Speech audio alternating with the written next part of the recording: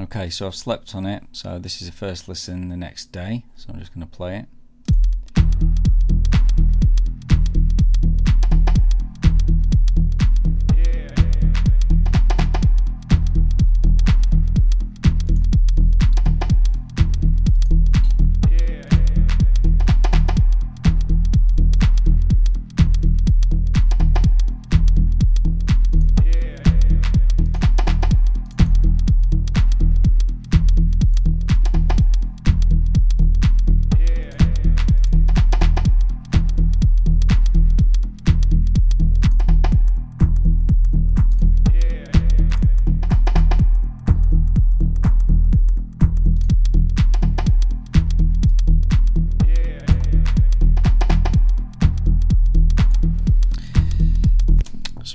Thinking now, it needs, um, I think a bit of drum layering. So I'm just going to put transfuser on there because this is a great little beat mangler.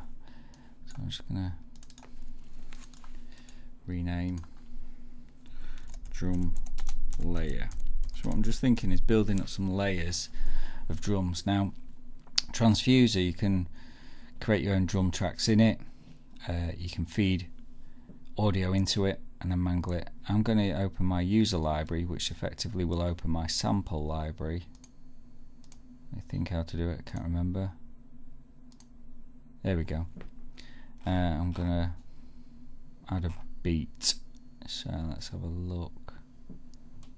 Uh, see what's in here.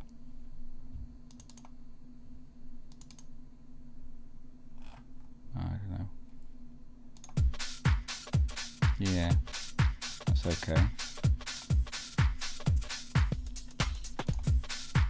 Okay, that'll do. Let's see what this sounds like. Oh yeah, when it you bring it in, it'll slice it, or it can time stretch it, or it can cut it up and put it onto drum pads. I'm gonna just slice it.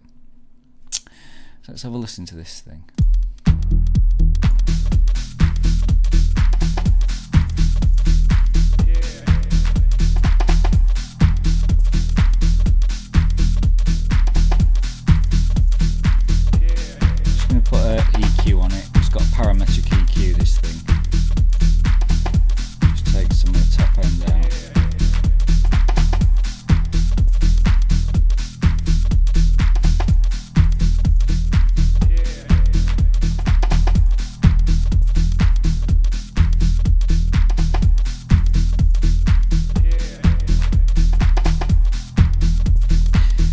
Put a bit of swing on it.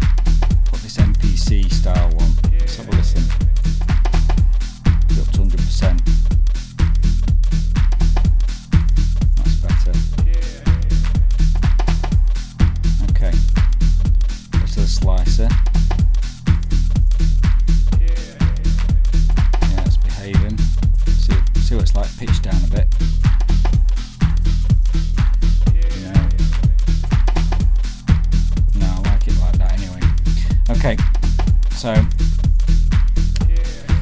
Do variations on this drum beat. So turn on the reorder.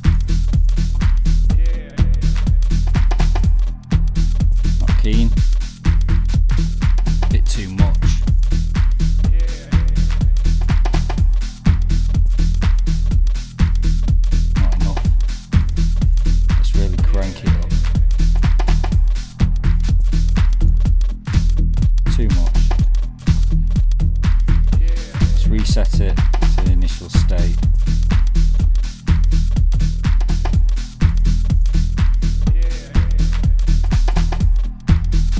So I'm thinking with this pattern here, that could be good for a break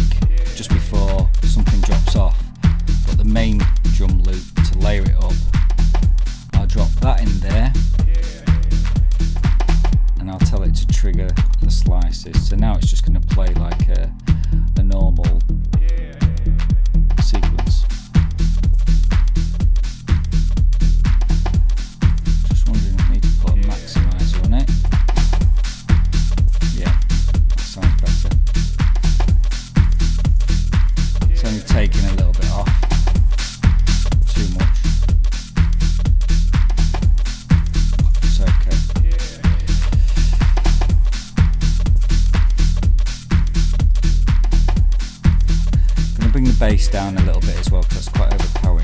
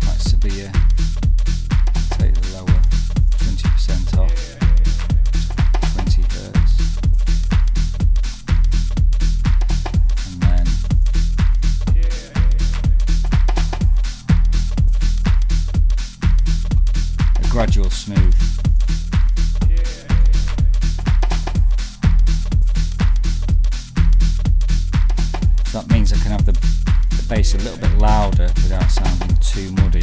It'll probably need tweaking again. The master bus isn't popping if you look over here, it's still below. So, bass, sub bass, got a chord stab that I've not used, still undecided. I think if I remain undecided, I'm going to remove it. Might be nice for a break. Turn that off. Let's turn the clap off. Oops.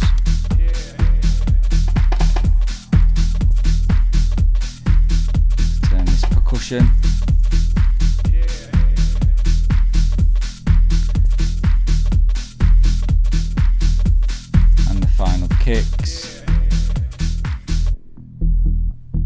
Imagine a drop and then it kicks in.